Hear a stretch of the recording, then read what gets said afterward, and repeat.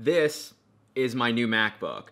And I use the term new a little bit loosely because this thing came out in 2015. When this thing came out two years ago, you could pack it with some pretty high-end specs. And I think those specs hold up pretty well even today in 2017. This particular laptop is a 15-inch Retina Pro that I bought from Apple, refurbished, for $2,121.97. It's got a quad-core i7 clocked at 2.5 gigahertz. It's got 16 gigs of RAM. It's got a 512 gigabyte SSD. And it's got Apple's 2880 by 1800 resolution display. This was the last laptop that Apple made with sort of this design because in 2016, we got the Touch Bar MacBooks. They have the redesigned butterfly keys and the humongous trackpads and of course the touch bar. And yes, they're a little bit slimmer and have a smaller footprint. If you're buying a MacBook in 2017, you're gonna get Intel's Kaby Lake processors, which are the newest ones. So why in 2017 did I spend over $2,000 on a two-year-old refurbished laptop? Because of literally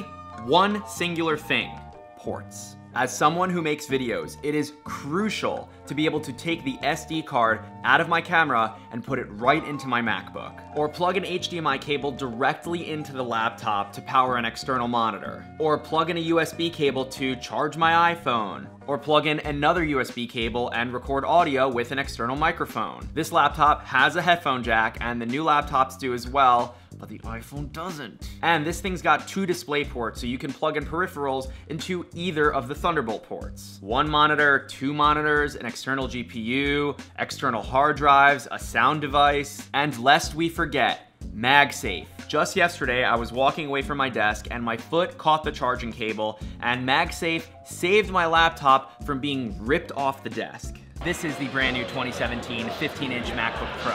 This laptop has a 2.8 gigahertz Kaby Lake processor, 512 gigabytes of storage, and 16 gigs of RAM. This machine is $2,599 before tax, and it has four ports, and they're all the exact same, USB Type-C. So, if you get this computer, you need USB Type-C ports for everything you do. The iPhone that you plug into your computer, the cable that comes in the box, you need an adapter. You can't plug in an SD card unless you have an adapter. You want to do HDMI, you need an adapter. Also, no MagSafe on this thing. So if you tug on this USB cable, your laptop is going with it. Granted, yes, if you're spending that much money, you are getting the latest and greatest. But is it really the latest and greatest? I know what you might be thinking.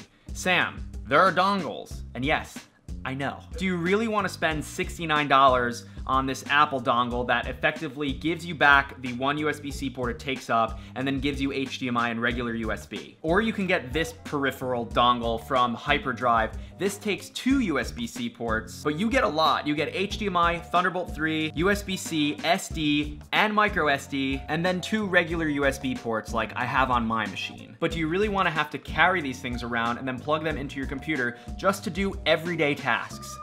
I don't. And that's why I bought a two-year-old laptop in 2017, because of the ports. Ladies and gentlemen, thank you so much for watching today's video. If you enjoyed it, please leave a like and hit that subscribe button for more videos like this. I'll see you in the next one.